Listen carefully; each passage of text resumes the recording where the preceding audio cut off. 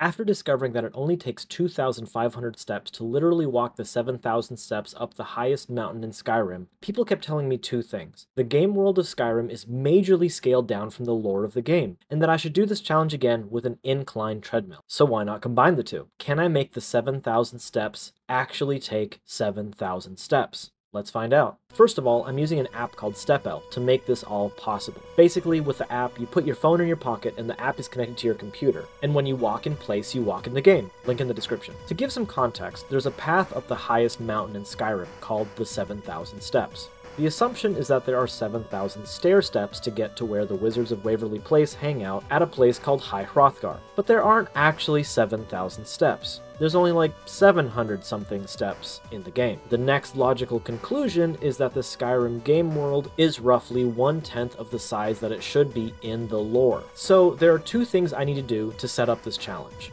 One, make the world size as accurate as possible, and two, incline my treadmill as accurately as possible. Well, I can't exactly scale up the game world super easily, so the next best thing is to scale myself down, which is fairly simple, except for a couple of things. First, you can't use the normal game's scale down command because it majorly slows down the animations of the characters and you end up taking exactly the same amount of steps for a given distance, which would mess up the step count, so that won't work. To get around this, I'm using three mods that make it so I can be as small as possible without messing up the walking animations. Link in the description. First, I'm using the mod Faerie Races, the Sprite Race version specifically. It's the smallest race mod that I could find. Secondly, I'm using Player Size Adjuster to shrink down to 70% of my current height as a sprite. Thirdly, I'm using Race Menu to shrink myself even more to 25% of my current height. Since some stats, like strength, are scaled with height, I'll need to activate God mode so I don't have to worry about being over encumbered.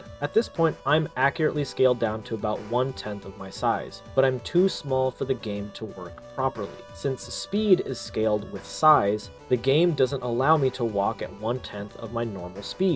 Based on my testing, the smallest I can get without messing up the walking animation is roughly 35% of my normal height. So once I'm tiny, after all the mods, I do a player.setScale 3.5, so I'm a little bit bigger. I also had to use a fourth mod, the third person camera overhaul, since I wanted to do this in third person. And I needed to basically move my camera down as much as possible since I'm tiny. And I made my head twice as big because I thought that'd be funny.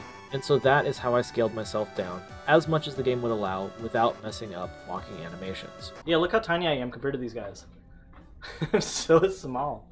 It's not quite a one-tenth scale, but it's much, closer. Additionally, let's tackle the incline of the mountain so I can accurately set up my treadmill. I took this screenshot of the first step of the mountain. Ignore the steps immediately after this one, just don't worry about them, don't don't look at them. I used the Windows Screenshot Protractor tool, which I didn't even know was a thing, and figured out that the incline of the mountain on the first step is roughly 23 degrees. So I spent some time trying to figure out how high I could incline my treadmill without just sliding down to the bottom of it. And unfortunately, I was only able able to incline it about 11 degrees with some bed risers. So this isn't as accurate as it can be, but it's as accurate as I'm able to make it for this challenge. But it was still tough, okay? I was I was still like super sweaty at the end.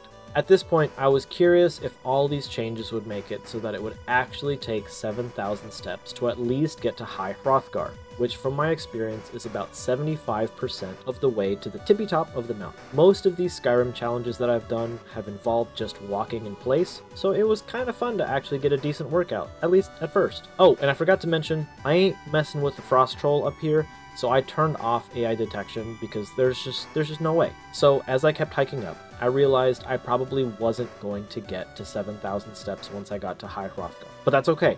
I couldn't quite get it to do 7,000 steps. I did pretty close. We're going to keep walking up and see if I can hit 7,000 when I get to the top of the mountain. Like I said, there's more mountain and more steps to climb beyond the physical building of High Hrothgar. So, arguably, the 7,000 steps could still be all the way up the mountain. Maybe it was just a bad case of telephone and they forgot about the extra steps. For this save file, I didn't have the clear skies shout yet to get rid of the wind, so I just cheaply turned off collisions. Eh, it worked well enough for this challenge. I continued trudging my way up the mountain, and honestly, my legs were getting pretty tired.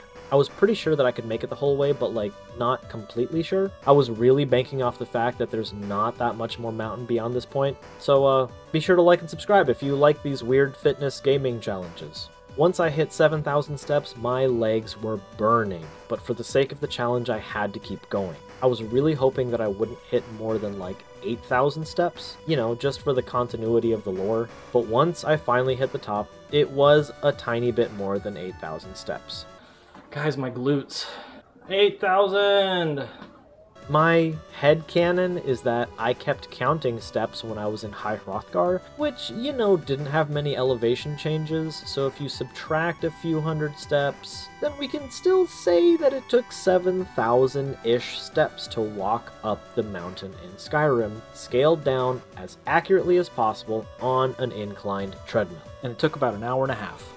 There you go. If you want to see how to set up the app I use for this, or want to see how I use this app combined with Steam input to control a speeder bike with motion controls in Star Wars Outlaws, check out these videos. Thanks for watching.